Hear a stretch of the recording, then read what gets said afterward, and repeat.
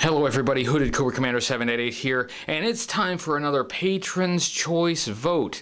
This is where supporters on Patreon get to vote to decide what will be reviewed on this channel. I've been wanting to do more of these this year, so let's get one started. Just a reminder, you do need to be a supporter on Patreon in order to vote, so please check out my Patreon to find out how. Support at any level gives you the vote. This time around, I wanted to focus on small playsets because I don't don't think they get enough love. In 1984, we got three battle stations in the G.I. Joe line, and those will be your options for this month's vote. Option one will be the 1984 Bivouac. This is a set I had as a kid, and I recall liking it a lot.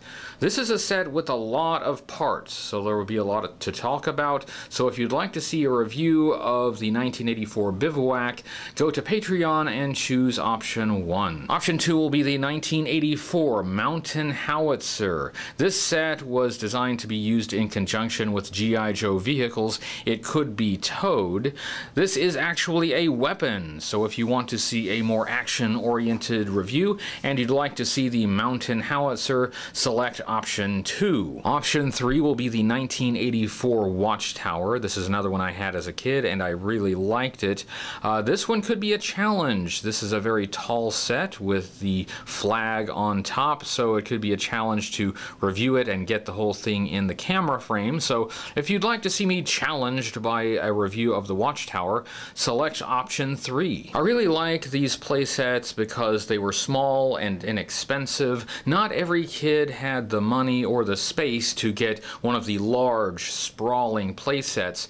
So these sets meant that any fan of G.I. Joe could have a small playset to to add to their play battles. So once again, just go over to Patreon to find out how to vote. Support at any level gives you the right to vote. Voting will start as soon as you see this video go up, which will be on March 4th.